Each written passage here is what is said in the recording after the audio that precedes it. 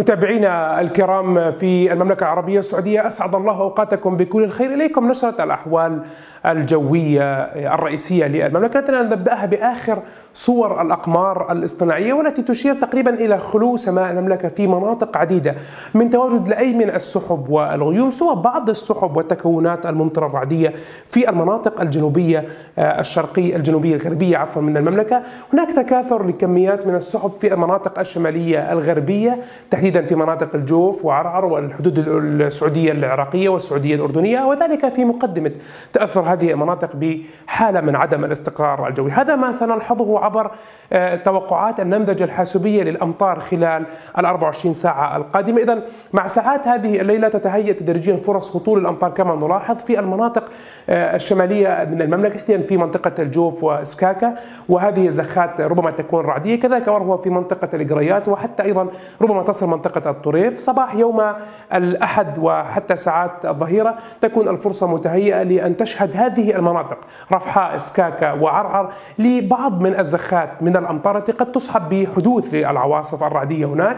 إضافة إلى مناطق قريبة من القريات والطريف هذه مناطق ربما تشهد زخات رعدية من الأمطار. نشاط متوقع للرياح في مناطق القصيم وحائل يثير الأتربة والرمال. كما تتهيأ الفرصة في ساعات النهار لأن تهطل بعض الزخات من الأمطار بمشيئة الله تعالى على مرتفعات جنوب غرب المملكة في ساعات ما بعد الظهر بشكل عام.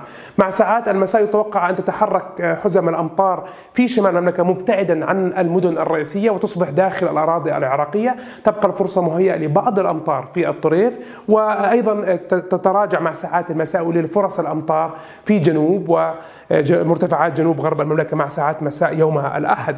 وتعود فرص للأمطار في داخل البحر الأحمر وبعض المناطق الساحلية بالإضافة للمرتفعات الجبلية الجنوبية الغربية من المملكة مع ساعات صباح يوم الاثنين بمشيئة الله تعالى. عودة للأحوال الجوية المتوقعة هذه الليلة في العاصمة الرياض.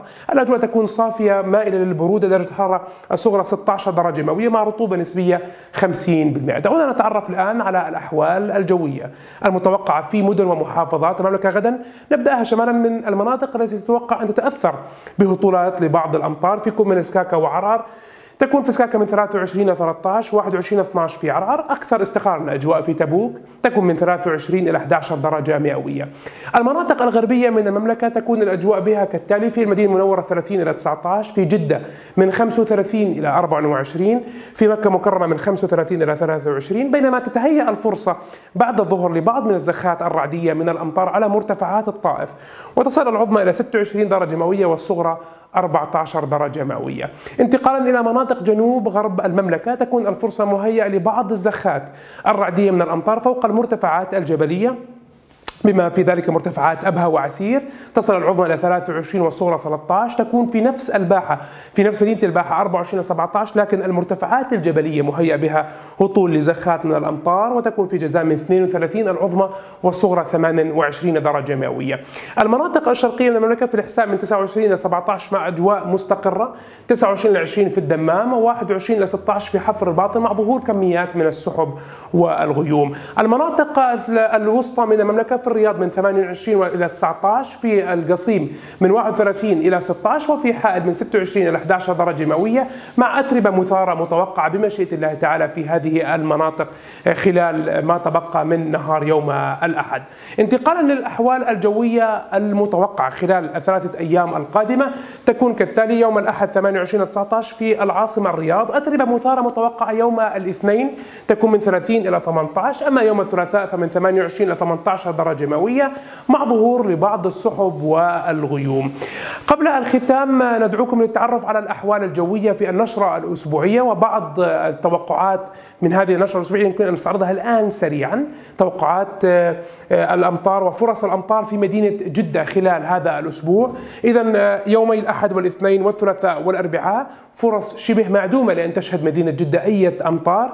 ترتفع فرص الأمطار يومي الخميس والجمعة والسبت تصل إلى حدود 75% فرصة الأمطار يوم السبت في مدينة جدة. للمزيد يمكنكم متابعة هذه التوقعات بالتفصيل عبر النشرة الجوية الأسبوعية الخاصة بالمملكة. للحديث عن هذه الأحوال الجوية المتوقعة أن تؤثر على بعض مناطق المملكة بما فيها مدينة جدة نهاية هذا الأسبوع. إذا هذا كان كل ما لدينا بشأن الأحوال الجوية في في المملكة.